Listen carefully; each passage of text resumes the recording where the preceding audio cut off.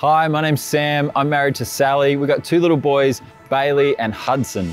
And a little over 12 months ago, we sensed that God was calling us to leave our home in Sydney so that we could be part of a new work that would reach new people. So we're really excited to announce that in 2020, we're stepping out in faith and we're planting City on a Hill right here on the Gold Coast. Uh, we love the Gold Coast. It's got beautiful beaches, it's got stunning hinterland, and it's got an incredibly diverse range of people. Every one of those people is created in the image of God and is precious to Him. With nearly 600,000 people living in this city, this is Australia's sixth biggest city, and yet literally hundreds of thousands of those people don't yet know Jesus. They matter to God and they matter to us.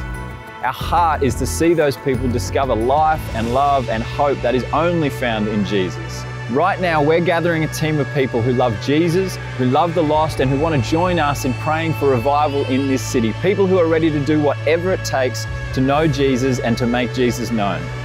God is building His church, and we can't wait to see what He will do right here on the Gold Coast.